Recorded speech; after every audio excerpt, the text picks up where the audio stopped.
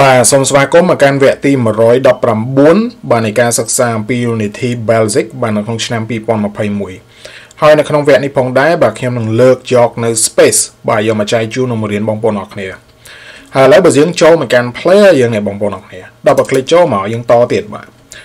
អញ្ចឹងនៅពេលដែលខ្ញុំនិយាយថា space space ហ្នឹងគឺសម្រាប់បាទយើង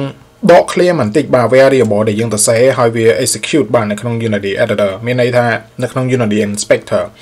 លក្ខណៈថាឧទាហរណ៍ថានៅពេលដែលយើងនិយាយយើងខ្ញុំនិយាយថា public ខ្មែរ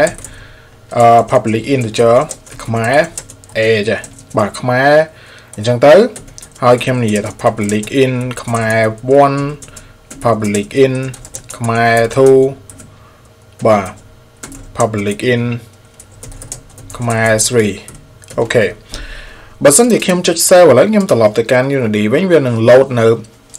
box 4ចំនួន4ដែលជា integer យើងអាច set បានមិនអញ្ចឹងយើងអាច set នៅនៅ value វាបាន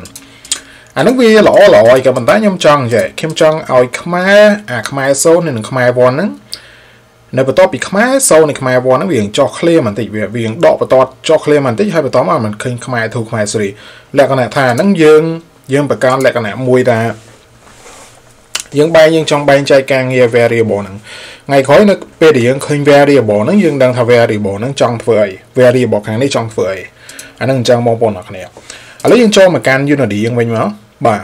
ហើយដើម្បីយើងចោះបន្ទាត់បាទឧទាហរណ៍ថាយើងទៅរកកន្លែងយើងដំបូងយើងត្រូវរកកន្លែងណាដែលយើងចង់ចោះបន្ទាត់ឥឡូវខ្ញុំចង់ចោះបន្ទាត់ចាប់ពីខ្មែរ1នេះសិនបាទអញ្ចឹងកន្លែងហ្នឹងបន្ទាប់ពីខ្មែរ0ខ្មែរ1នេះខ្ញុំនិយាយថា space បាទខ្ញុំនិយាយថា space ចេះ space ហើយនៅក្នុង fantasy នេះ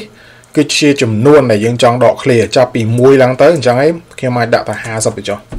បាទបើខ្ញុំចុច cell ឥឡូវ cell all ខ្ញុំត្រឡប់ទៅកាន់ Unity វិញ variable បន្ទាប់ពីលេខ1វានឹង space ចុះមក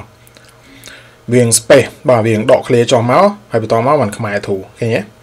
អញ្ចឹងនៅពេលដែលយើងឃើញអញ្ចឹងយើងអាចបែងចែកវាដឹងថា variable ខាងលើនេះសម្រាប់ធ្វើអីបាទ variable ខាងក្រោមនេះសម្រាប់ធ្វើអីមិនអញ្ចឹង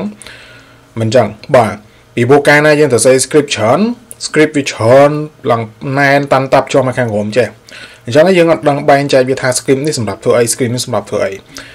អានោះគឺអញ្ចឹងហើយបងប្អូនអរគ្នាគឺយើងដោយការដែលយើងប្រើ space ហ្នឹងអញ្ចឹងបាទសូមអរគុណបាទសូមជម្រាបលា peace